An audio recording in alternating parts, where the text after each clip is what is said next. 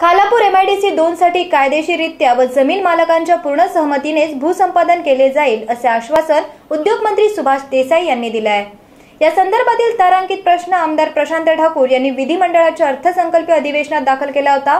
त्या प्रश्नाला तसेच उपप्रश्नांना उद्योगमंत्री श्री देसाई यांनी उत्तर दिले.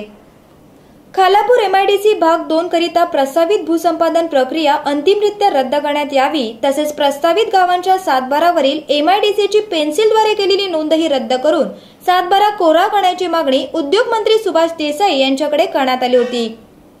तर भूसंपादन प्रक्रियेच्या वेळी नोंद करताना शेतकऱ्यांना कोणत्याही प्रकारच्या नोटिसा देण्यात आलेल्या नाही.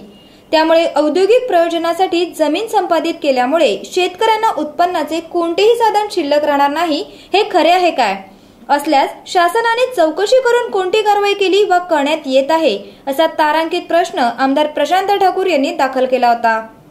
या प्रश्नावर सभागृहात चर्चा झाली. या चर्चेत आमदार आशिष शेलार अतुल भातखळकर योगेश सागर पराग अळवणी मनीषा चौधरी आशिष देशमुख आदींनी सहभाग घेतला.